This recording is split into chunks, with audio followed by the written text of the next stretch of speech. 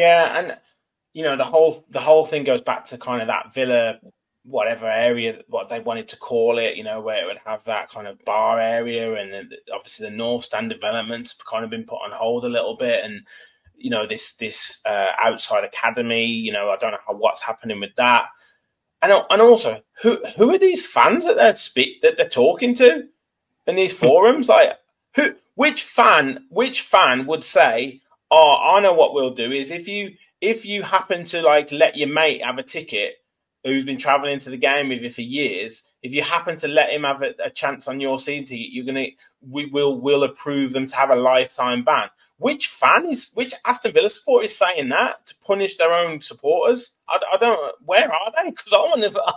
I want to have a word with them. Because why? Why are you denying people the opportunity to go to a game? And giving them a lifetime ban for letting them dare have your away season, uh, your away ticket. I mean, what what is the world coming to when you can't go to a game with your mate?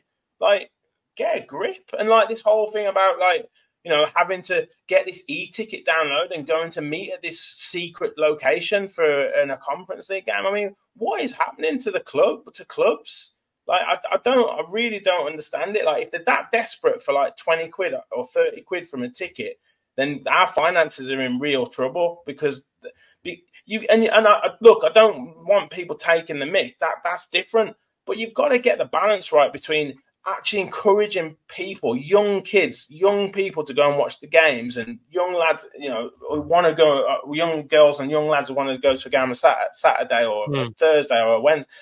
You've got to get the balance right between attracting them, not making them scared to go to a scared to take their family member or their cousins or their uh, mates ticket because they, they might be threatened with a with a life with a month or three month ban or whatever, losing all their history. Like, what what kind of club are we turning into?